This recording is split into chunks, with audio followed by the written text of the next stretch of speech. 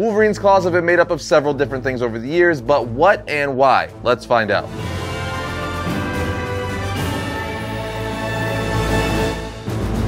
What's up, my comic comrades? At this point, you have to be living under a rock to not know that Hugh Jackman is returning to play Wolverine one more time in Deadpool 3. I mean, the level of excitement about seeing him don the first live action version of Wolverine's legendary yellow and blue tiger stripe suit is just off the charts. So, with that on the brain, we want to take a look at the evolution of Wolverine's claws. In the second half of this episode, we're also going to show you what ridiculous name the creators almost gave Wolverine, so you definitely want to stick around for that. Also, our new Variant Labs merch shop is now available in the merch shelf attached to every variant episode, including this one. So be sure to check that out for some dope variant swag and rep the Variant Nation like myself. Now, whether you're talking about comics, TV, or in the movies, Wolverine's claws are the most recognizable thing about the character and just downright one of the coolest weapons and abilities in the superhero world. And over the years, we've seen them made of bone, adamantium, and more. It all really started with Wolverine's first appearance in the Incredible Hulk issue 181. Look at that clawed mutant beauty on the cover of Hulk 181. The funny thing is, at the time, we didn't even know he was a mutant. Anyway, in his first appearance, he shows up to battle the Hulk and Wendigo. Wolverine instantly starts attacking the Hulk, jumping over him with the Hulk saying, Little man jumps around like a big rabbit. But Wolverine points his claws at him, saying, Like a Wolverine, if you don't mind. And like a Wolverine, I've got claws forged of diamond hard adamantium and the power to back them up. So, literally, on the second page of his first appearance, he's already referring to his diamond hard adamantium claws. But they weren't always adamantium. Nope, in fact, they were bone claws that were later laced with adamantium by Weapon X. But let's go back to see how that happened. And since we're talking Marvel, check out what we got from today's sponsor, Casetify. These epic iPhone cases are from their dope new Spider-Man by Casetify collection. Let's check out what we got. Dude, look at these glorious covers. We've got the Spider-Man suit phone case happening, a little Venom action, and this one looks like a comic panel right out of a Spider-Man book. For the real test, I had to try them out. I love the design and feel of the case, and it's a fun way to put my wall crawler fandom on display. And what about this Venom mask case? Bro, while the Spider-Man cases remind us that with great power comes great responsibility, the Casetify Venom mask phone case brings the darker edge. With its sleek and edgy design inspired by one of Spider-Man's most notorious enemies. We also got this great Spider-Man swinging case, which honestly reminds me of both the comics and the Spider-Man animated shows I watched as a kid. But while I dig them all, I think my favorite is the Spider-Man suitcase. It's just classic Spider-Man. Not to mention each style is available in different case types, like the clear case, mirror case, and the impact case that I'm using. Because I take care of my stuff, but accidents happen, and I'm not trying to replace an iPhone. So why settle for a boring generic phone case when you could rock the style of everyone's favorite web slinger on your phone? Get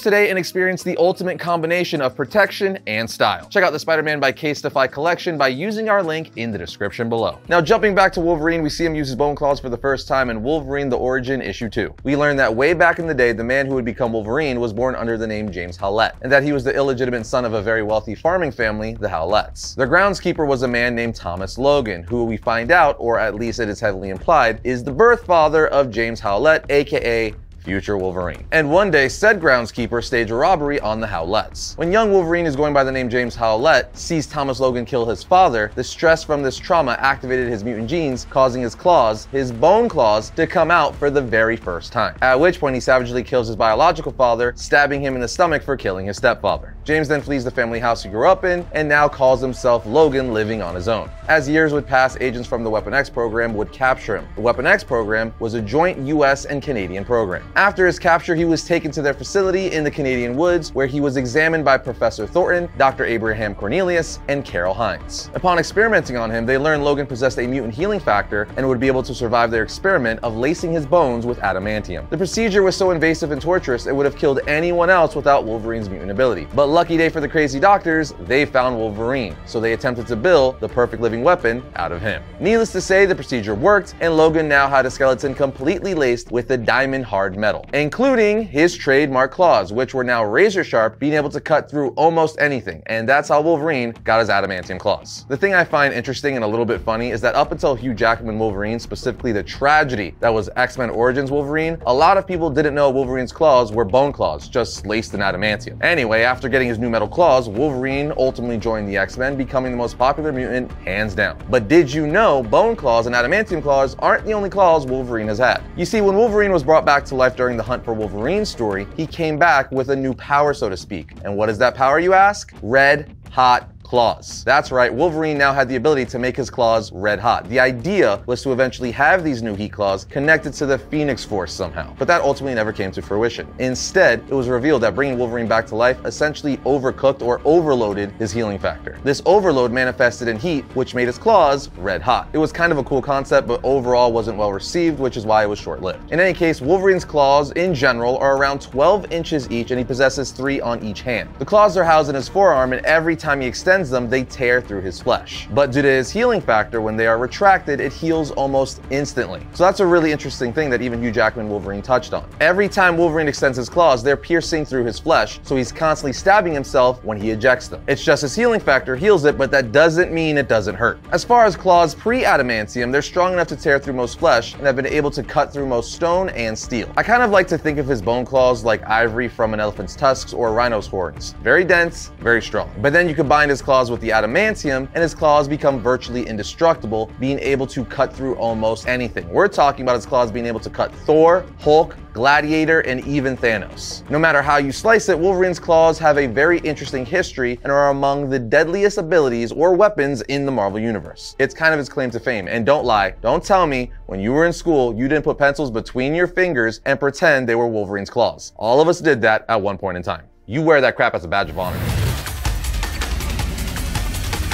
Did you know Wolverine was almost called the Badger? That's right. With a ferocious slashing brawler character like Wolverine that has a badass name to go along with it, it's crazy to think he was almost called the Badger. You see how it all went down as writer Len Wein was asked by Marvel to create a superhero for Canadians. So he decided to use a Canadian-based animal as the inspiration for this new character. Then he eventually dwindled it down to two options, a Wolverine and a Badger. And thank God he went with Wolverine because let's be honest, the Badger does not sound cool or threatening at all. It's kind of like Catman for DC, except he actually got named Catman, and let's just say he's not the most admired character. As for Wolverine, he would go on to become one of the most loved and known comic book characters, period. Because Wein went with that name, he based the characteristics off of a Wolverine and not a Badger. John Romita Sr. was then brought on to design the character using the animal as the basis for the character, adding claws to both the character and the motif of his costume, and making him short and stocky. And just like that, the character was dubbed Wolverine and thankfully not the Badger because I don't think that would have caught on. Now it's your turn to sound off. Join the discussion on today's episode in the comments down below, and we'll see you next time